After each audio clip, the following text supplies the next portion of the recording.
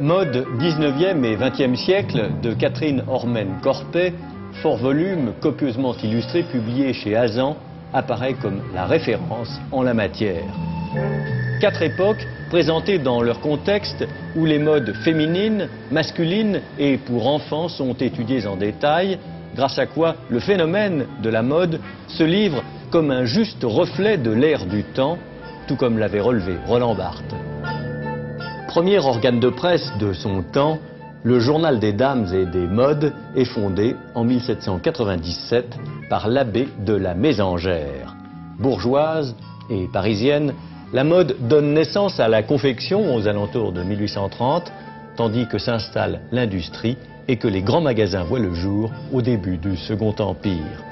La femme est prisonnière de son statut social ainsi que de ses corsets dont le féminisme cherchera à l'affranchir au début du XXe siècle.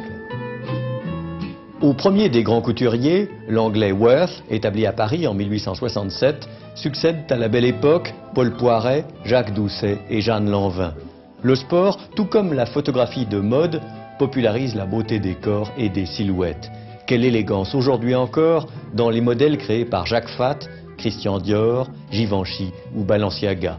Depuis, les lignes ont explosé et la mode continue de captiver.